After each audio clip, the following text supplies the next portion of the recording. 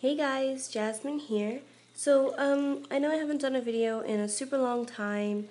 Um, the main reason is because I don't have any gerbils and any guinea pigs anymore. I do plan on getting uh, another pair of gerbils, um, maybe next month, but I've kind of been focusing more on my fish and my chinchilla.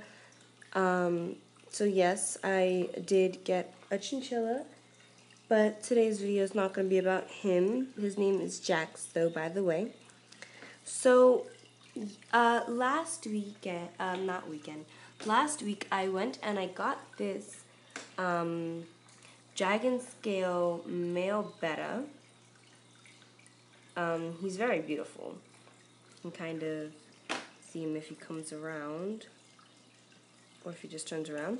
But yeah, so he's very handsome if you just look at him. Usually he's quite mellow, but yesterday um, I got a female Delta Betta. Just this girl right here. She's actually really pretty if my camera would focus. Which it probably won't because I'm on my iPad. Um, but she's super pretty. Um,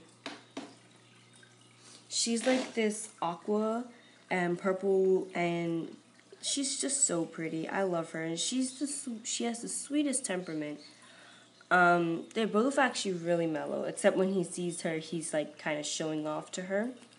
But she's never done this before. Even in the store, when I got him, I put him next to a couple other male bettas so they can see each other, and they flared at him, and he just kind of ignored them.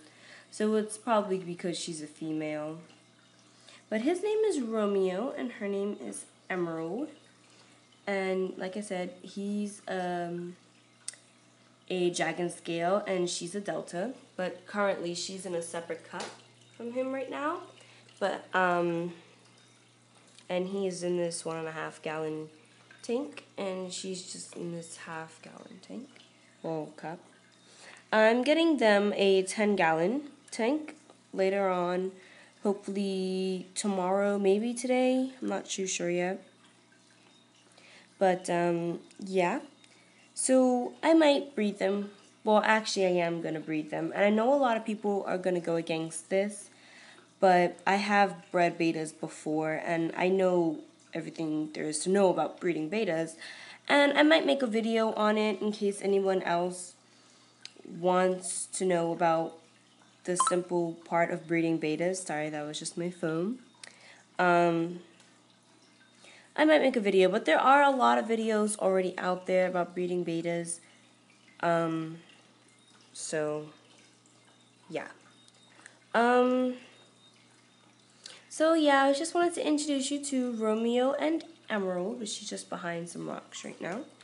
Um, this definitely, like I said earlier, isn't their full setup. I just brought them to my mom's house because they were at my dad's. So I'm to put a heater and a filter in here now. Um, so, yeah. So, like I said, that's Romeo and Emerald, and their temperaments, they're very sweet and calm. They avoid fights. Um, they don't look for trouble at all. Except since Romeo is now with a female, he is flaring up and showing off and yeah. So I'm just going to go ahead and find something for him so he can make a bubble nest because he has tried to make a bubble nest but they haven't he doesn't have anything for them to stick onto. So oh there he is. He's kind of showing off for you guys. Um but I don't but he doesn't have anything for the bubbles to stick onto right now. So I'm just going to go find something so that the bubbles can stick on and he can start building his bubble nest.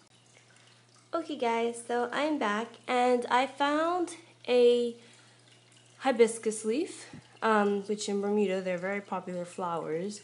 They're non-toxic. Um, it has been sitting in the sun for a bit, so that's good. Um, so hopefully he starts making a bubble nest. And I'll put the female in within about three days so they can start the chase and then after that then comes the embrace. Once they embrace for about a day, I will take her out so that all the eggs will be up in the bubbles and the male can tend to the eggs.